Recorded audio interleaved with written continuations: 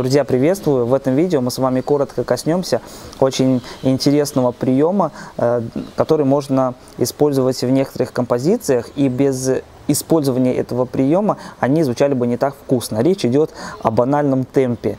Изменяя темп, можно придать своеобразности, вкусности э, произведению, потому что если бы его играть ровненько, оно воспринималось бы не так на слух. Это подходит не ко всем композициям, но некоторые можно очень э, интересно украсить. Давайте с вами в качестве примера возьмем такую мелодию, всем нам известный романс.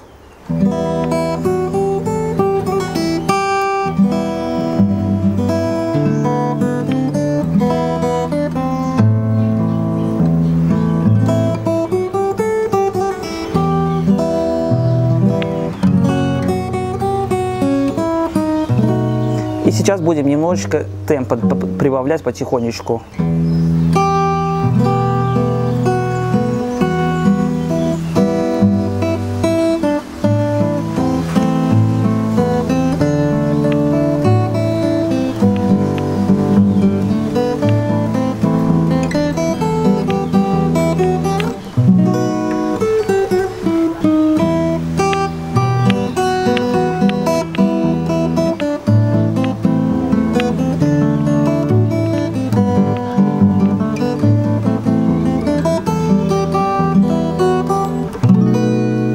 Замедляем.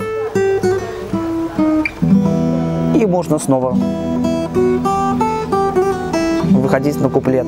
Вы видите, да, за счет того, что мы в каких-то местах немножечко добавляем темпа, а в каких-то немножечко его снижаем, произведение воспринимается совсем по-другому. Оно было бы скучно, звучало бы скучно, я даже наигрывать не буду, если бы играть в одном и том же темпе. Та-та-та-та-та-та.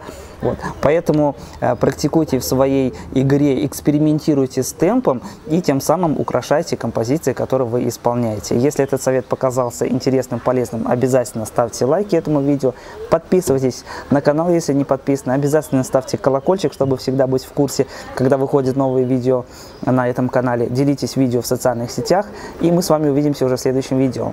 Пока!